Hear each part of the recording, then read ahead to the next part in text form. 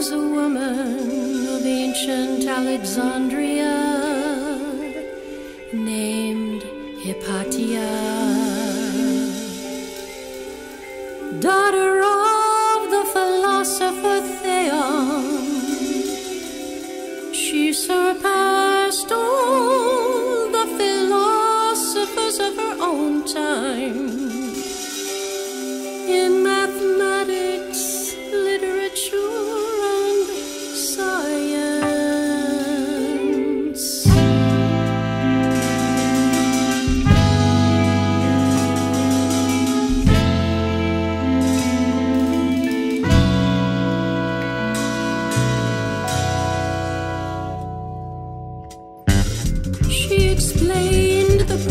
supposed